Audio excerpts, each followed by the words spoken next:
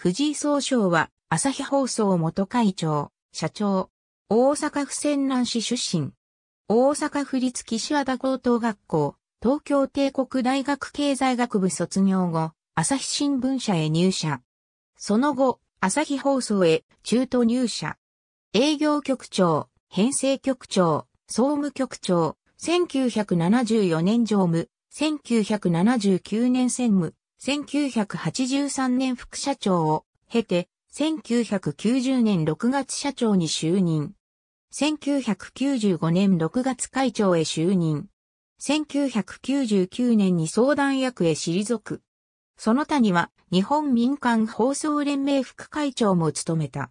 2000年8月5日、胃がんのため79歳で死去。社長時代の1992年頃、屋敷隆人が警備員の態度の悪さに腹を立て、ラジオ番組内でアホから偉くなる放送局と発言し、当時の副社長が激怒した事件があり、副社長は口論の末、高人に一生立ち入り禁止処分を下した。その直後、高人がボロクソ言うたらと吐き捨て、副社長が徹底抗戦に入ろうとしたが、こんなことしたらタレントがおらんようになると藤井が発言し仲裁した人物であり、高人は一週間だけ謹慎した後、放送復帰した。